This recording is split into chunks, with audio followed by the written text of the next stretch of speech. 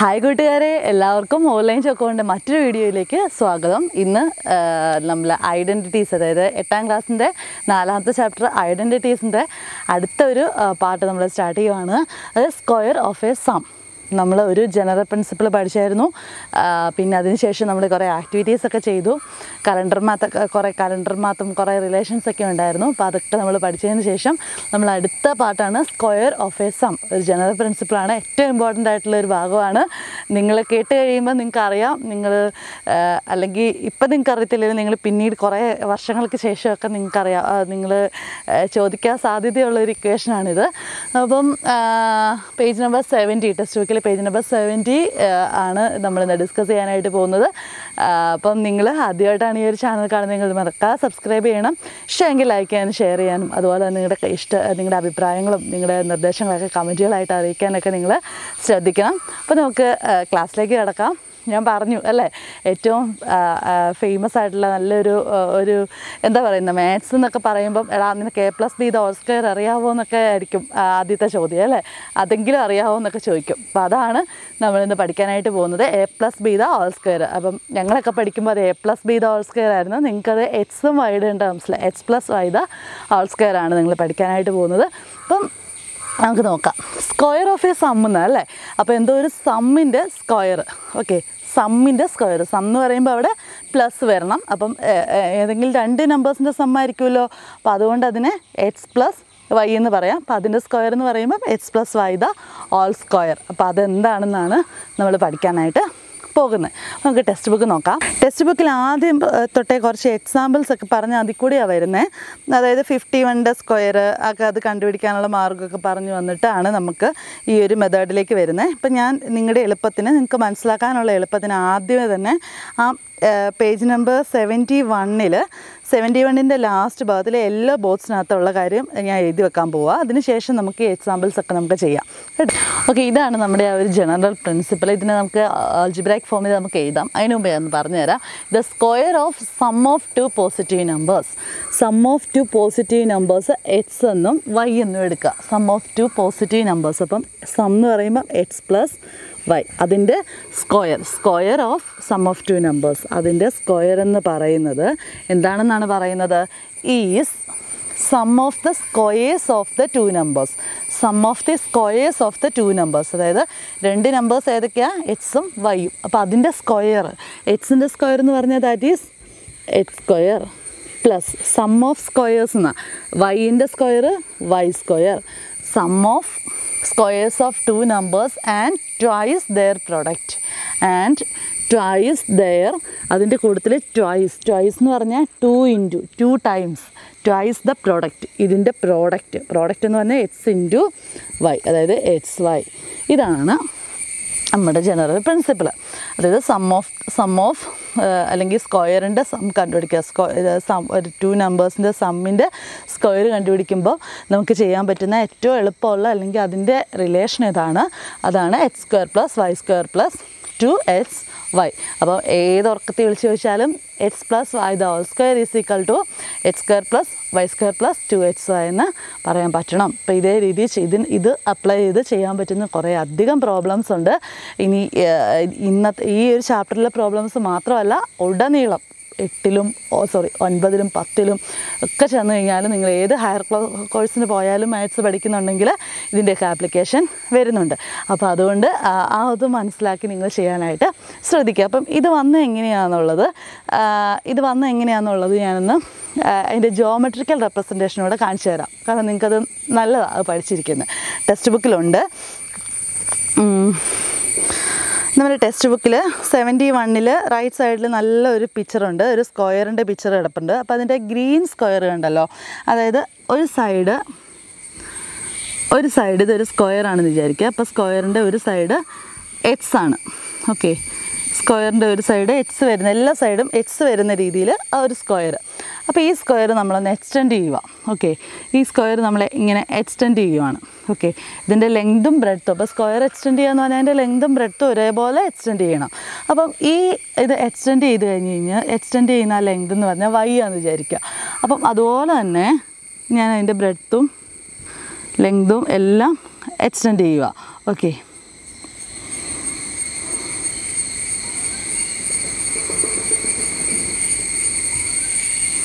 Okay ഇതൊരു square ആണ് കേട്ടോ. അപ്പോൾ എക്സ്റ്റെൻഡ് ചെയ്തതിന്റെ എല്ലാം ലെങ്ത് വൈ എന്നും ബാക്കിയുള്ളതെല്ലാം എന്താണ്? എക്സും ആണ്. ക്ലിയർ ആണല്ലോ? അപ്പം ആദ്യം നമുക്ക് എക്സ് സൈഡുള്ള ഒരു സ്ക്വയർ ഉണ്ടായിരുന്നു. അതിനുശേഷം അതിന്റെ ലെങ്തും ബ്രെഡ്ത്തും നമ്മൾ Y Y unit Y unit നമ്മൾ ഇൻക്രീസ് ചെയ്തു. ഇനി നമുക്ക് ആദ്യം ഉണ്ടായിരുന്ന ആ ഒരു സ്മോൾ ഫിഗർ അല്ലേ? ആദ്യം ഉണ്ടായിരുന്ന ആ ഒരു സ്മോൾ എക്സ് സൈഡായിട്ട് വരുന്ന സ്ക്വയറിന്റെ ഏരിയ എന്ന് പറഞ്ഞാൽ എന്താണ്? എച്ച് സ്ക്വയർ അല്ലേ? ആണ് അല്ലേ? അതായത് സൈഡ് ലെങ്തും ബ്രെഡ്ത്തും സ്ക്വയറിന്റെ സൈഡ് സ്ക്വയറിന്റെ ഏരിയ എന്ന് പറഞ്ഞാൽ എ സ്ക്വയർ സൈഡ് ഇന്റു സൈഡാണ് അപ്പോൾ H into H H square ഇനി ഈ ഒരു പാർട്ടിന്റെ ഏരിയ എന്തായിരിക്കും? ഇത് എച്ച് ആണ് അപ്പോൾ ഇതും എച്ച് ആണ്. അപ്പോൾ ഇതിന്റെ ഏരിയ എന്ന് പറഞ്ഞു കഴിഞ്ഞാൽ ഈ ഒരു ഈ ഒരു റെക്റ്റാങ്കുലർ പാർട്ടിന്റെ ഏരിയ എന്ന് പറഞ്ഞു കഴിഞ്ഞാൽ എച്ച് ലെങ്ത് ഇന്റു ബ്രെഡ്ത്ത് ആയിരിക്കുകയല്ലേ അതായത് എച്ച് വൈ ആയിരിക്കുകയല്ലേ ആണ്. ഇനി നോക്കിയേ ഈ ഒരു അടുത്തതായിട്ട് നമുക്ക് വേണ്ടത് ഓക്കെ ഇവിടെയും കൂടി ഒരു ക്ലോസിംഗ് ഉണ്ട് അല്ലേ? ഇവിടെയും കൂടി ഒരു കട്ടിംഗ് ഉണ്ട്. അപ്പോൾ നമുക്ക് ഇതിനും വൈ ആണ് അല്ലേ? ഇത് വൈ ആണ്? അപ്പോൾ ഇതും വൈ ആണ്. ഇത് രണ്ടും അപ്പോൾ ഇതിന്റെ ഏരിയ വൈ സ്ക്വയർ ആണല്ലോ. ഈ സ്ക്വയറിന്റെ ഏരിയ വൈ സ്ക്വയർ ആണ്. ഇനി ഈ ഒരു റെക്ടാങ്കുലർ പാർട്ടിന്റെ ഏരിയ ഇത് വൈയും ഇത് എച്ച്സും ലെങ്ത് എച്ച്സും ബ്രെഡ്ത്ത് വൈയും ആണ്. അപ്പോൾ ഇതിന്റെ ഏരിയ എന്ന് പറയുന്നത് ലെങ്ത് ബ്രെഡ്ത്ത് എക്സ് വൈ ആണ്. അല്ലേ? ഇനി നോക്കിയേ ഇനി നമുക്ക് ഇതിന്റെ ഫുൾ ഏരിയ കണ്ടുപിടിക്കണം. ഫുൾ ഏരിയ കണ്ടുപിടിക്കുക എന്ന് പറഞ്ഞാൽ നമുക്ക് രണ്ട് രീതി കണ്ടുപിടിക്കാം. ഒന്നെങ്കിൽ ഈ ഫുൾ സ്ക്വയറിന്റെ ലെങ്ത് എത്രയാ? എക്സ് പ്ലസ് വൈ ആണല്ലോ?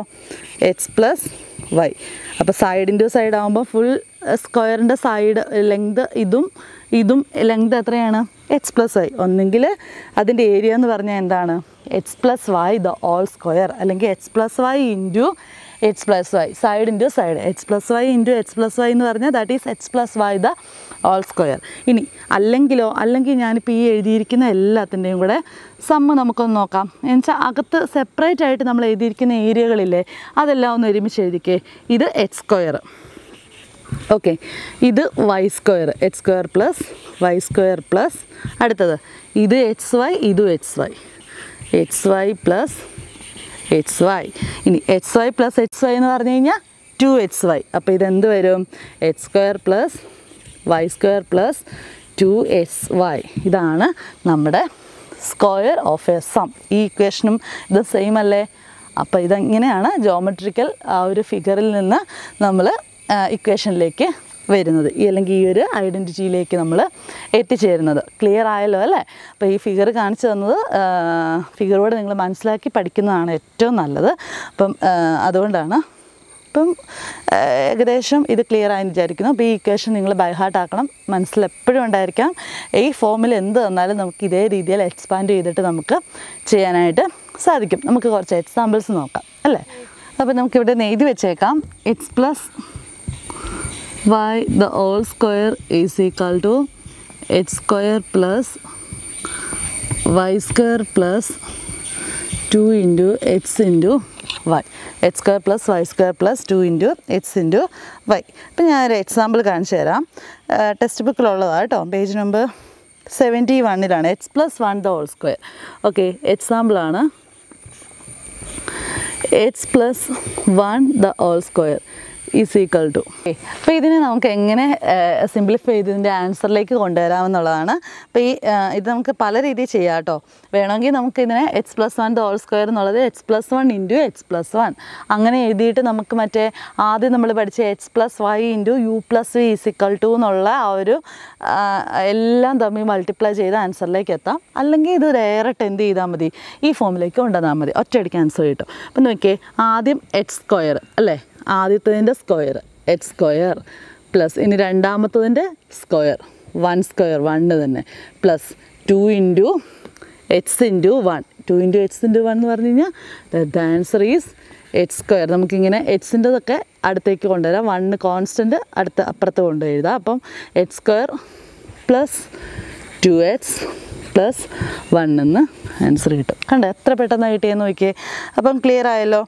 അപ്പം H square plus two X plus one എന്ന് നമുക്ക് ആൻസർ കിട്ടും. ഇനി ഇതുപോലെ തന്നെ മറ്റൊരു എക്സാമ്പിൾ നമുക്ക് ചെയ്യാം. ആദ്യം തന്നെ തന്നിട്ടുള്ള fifty one the whole square ഉണ്ടല്ലോ.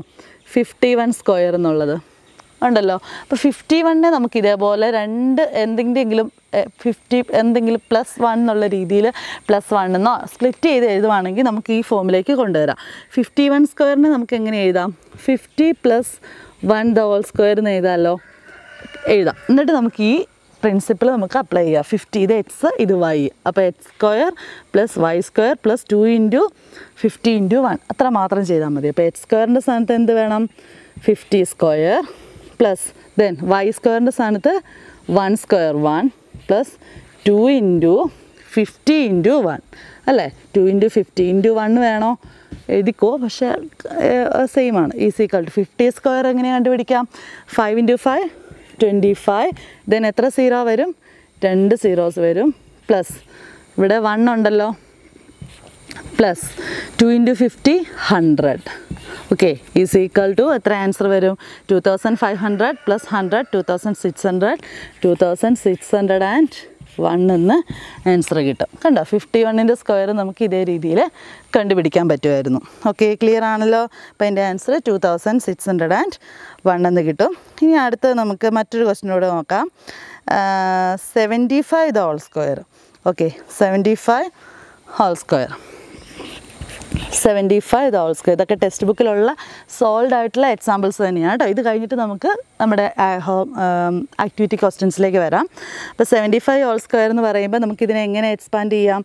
Seventy plus five the whole square എന്ന് എക്സ്പാൻഡ് ചെയ്യാം. ഇപ്പം ഞാനൊരു കാര്യം പറയട്ടെ നമുക്ക് വേണമെങ്കിൽ ഇത് സെവന്റി വൺ പ്ലസ് ഫോർ എന്നോ അല്ലെങ്കിൽ സെവന്റി ത്രീ പ്ലസ് ടു എന്നൊക്കെ പറഞ്ഞ് എക്സ്പാൻഡ് ചെയ്യാം. പക്ഷേ പ്രശ്നം എന്താണെന്ന് ചോദിച്ചു കഴിഞ്ഞാൽ നമുക്ക് സെവന്റി പ്ലസ് ഫൈവ് ആണെങ്കിൽ ഈ സെവന്റിയുടെ സ്ക്വയർ ഇവിടെ സ്ക്വയർ എടുത്ത പോലെ എടുക്കുമ്പോൾ നമുക്ക് ചെയ്യാൻ എളുപ്പമുണ്ടായിരിക്കും അതുകൊണ്ടാണ് നമ്മൾ സെവന്റി പ്ലസ് ഫൈവ് എന്നൊക്കെ എടുക്കുന്നത്. ഇപ്പോൾ സെവന്റി ടു പ്ലസ് ഫൈവ് ആണെങ്കിൽ നമ്മൾ ആ seventy two into seventy two അതേപടി നമ്മൾ ചെയ്ത് കണ്ടുപിടിക്കണം. അപ്പോൾ അത് ടൈം കൺസ്യൂമിങ് ആണ്. അതുകൊണ്ടാണ് നമ്മളിങ്ങനെ ചെയ്യുന്നത്. അപ്പോൾ ഇവിടെ x plus y the whole സ്ക്വയറിന്റെ ഫോമിലാണ് അപ്പോൾ ആദ്യം എന്ത് ചെയ്യണം? സെവന്റിയുടെ square seventy square plus five square plus two into seventy into five is equal to സെവന്റിയുടെ square എത്രയാണ്? Seventy into seventy seven sevens are forty nine two zeros plus five into five twenty five plus ഇനി two into seventy into five two into seventy എത്ര വരും? അല്ലെങ്കിൽ two into seventy എന്ന് പറഞ്ഞാൽ one forty അല്ലേ? Two into seventy എന്ന് പറഞ്ഞാൽ one forty one forty into five എത്ര വരും? ഓക്കെ സെവൻ ഹൺഡ്രഡ് എന്ന് വരും. അപ്പോൾ ഫൈനൽ ആൻസർ എത്ര കിട്ടും? Four thousand nine hundred then five thousand five thousand six hundred and twenty five എന്നായിരിക്കും നമുക്ക് ആൻസർ കിട്ടുന്നത്. അപ്പോൾ seventy five the whole square എന്ന് പറഞ്ഞ ആൻസർ എത്രയാണ്? Five thousand six hundred and twenty five എന്ന് കിട്ടും. ഓക്കെ നമുക്ക് അടുത്ത ക്വസ്റ്റ്യൻ എന്ന് പറഞ്ഞാൽ one nought three the whole square hundred plus three ആണ് വൺ നോട്ട് ത്രീ എന്ന് പറയുന്നത് അല്ലേ?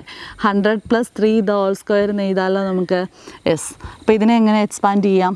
ഇതേ രീതിയിൽ തന്നെ അല്ലേ? Hundred square hundred square plus three square plus two into hundred into three hundred into three is equal to hundred square എന്ന് പറഞ്ഞു കഴിഞ്ഞാൽ എത്രയാണ്? ഹൺഡ്രഡ് ഇന്റു ഹൺഡ്രഡ് അപ്പോൾ വൺ എഴുതിയിട്ട് നാല് സീറോസ് അല്ലേ? Plus three into three nine plus ഇനി two into hundred two hundred into three six hundred is equal to എത്ര വരും answer ten thousand six hundred and nine എന്ന് ആൻസർ കിട്ടും. അതായത് one nought three the whole square is equal to ten thousand six hundred and nine okay അപ്പം എല്ലാവർക്കും ഇത് clear ആയെന്ന് വിചാരിക്കുന്നു അല്ലേ? അപ്പം നമുക്ക് h plus i the square is to h square plus i square plus two h i എന്നുള്ള formula അറിയാമെങ്കിൽ നമുക്ക് ഇതേപോലെയൊക്കെ തന്നു കഴിഞ്ഞ് കഴിഞ്ഞാൽ നമുക്കതിനെ പെട്ടെന്ന് ഈ ഇക്വേഷൻ ഉപയോഗിച്ച് സോൾവ് ചെയ്യാനായിട്ട് സാധിക്കും. അപ്പോൾ നമ്മൾ ഈ ഒരു മെയിനായിട്ട് ഈ ഒരു കോൺസെപ്റ്റും കുറച്ച് എക്സാമ്പിൾസും നമ്മൾ ഈ ഒരു വീഡിയോയിൽ കണ്ടു. അപ്പോൾ നമുക്കിനി അടുത്ത വീഡിയോയിൽ നമ്മുടെ ഇതുമായിട്ട് റിലേറ്റഡ് ആയിട്ട് കുറച്ചധികം ക്വസ്റ്റ്യൻസ് കിടപ്പുണ്ട്. ഒരു മൂന്നാൽ ക്വസ്റ്റ്യൻ എക്സ്ട്രാ ഒരു ten and one by two the whole സ്ക്വയറും കൂടെ ഉണ്ട്. അപ്പോൾ അത് അടുത്ത വീഡിയോയിൽ ചെയ്യാം. അപ്പം എല്ലാവർക്കും ഇത് മനസ്സിലായെന്ന് വിചാരിക്കുന്നു. അപ്പം അടുത്ത വീഡിയോ കാണാനായിട്ട് ശ്രദ്ധിക്കുക. അതുപോലെ തന്നെ നിങ്ങൾ ഇഷ്ടമായെങ്കിൽ കൂട്ടുകാരായിട്ടൊക്കെ ഷെയർ ചെയ്യാനൊന്നും മറന്നു പോകരുത്. അതുപോലെ തന്നെ നിങ്ങൾക്ക് അഭിപ്രായങ്ങൾ സജഷൻസ് ഒക്കെ ഉണ്ടെങ്കിൽ നിങ്ങൾക്ക് കമന്റുകളായിട്ട് ഞങ്ങളെ അറിയിക്കണം. അപ്പോൾ നമുക്ക് അടുത്ത വീഡിയോയിലേക്ക് നമുക്ക് വീണ്ടും കണ്ടുമുട്ടാം. അത് അതുവരേക്കും ഗുഡ് ബൈ ടേക്ക് കെയർ